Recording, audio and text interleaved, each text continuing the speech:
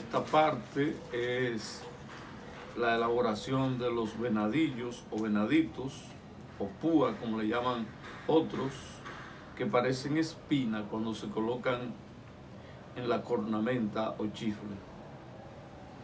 Este método que yo estoy utilizando me lo enseñó Tony Vargas, uno de los lechones más viejos de Santiago, que era de La Joya, pero que tenía un vínculo muy directo con nosotros, la gente de Pueblo Nuevo. Este método se llama enchinchado, que se hace en el aire.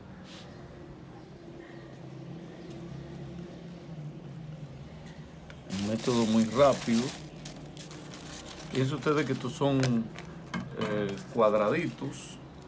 Entonces se hacen los conos.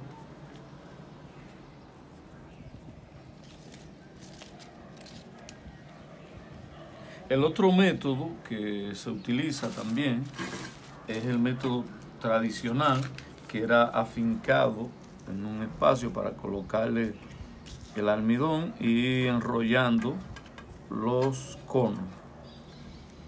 Fíjense ustedes, ahí se puede ver, ¿verdad?